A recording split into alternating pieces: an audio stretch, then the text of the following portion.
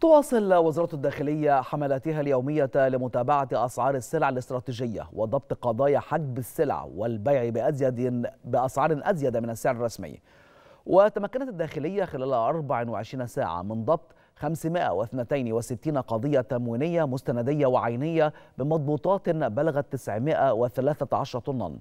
وفي مجالي حجب السلع الاستراتيجية والاستيلاء على السلع المدعومة تم ضبط 136 طنا. وفي مجال حجب أرز الشعير والأبيض والبيع بأزيد من السعر الرسمي للأرز الأبيض تم ضبط 697 طنا.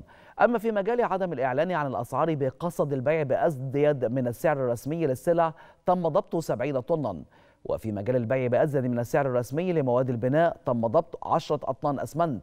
وفي مجال قضايا المخابز تم ضبط 926 قضية من بينها 234 قضية خبز ناقص الوزن و236 قضية خبز غير مطابق للمواصفات.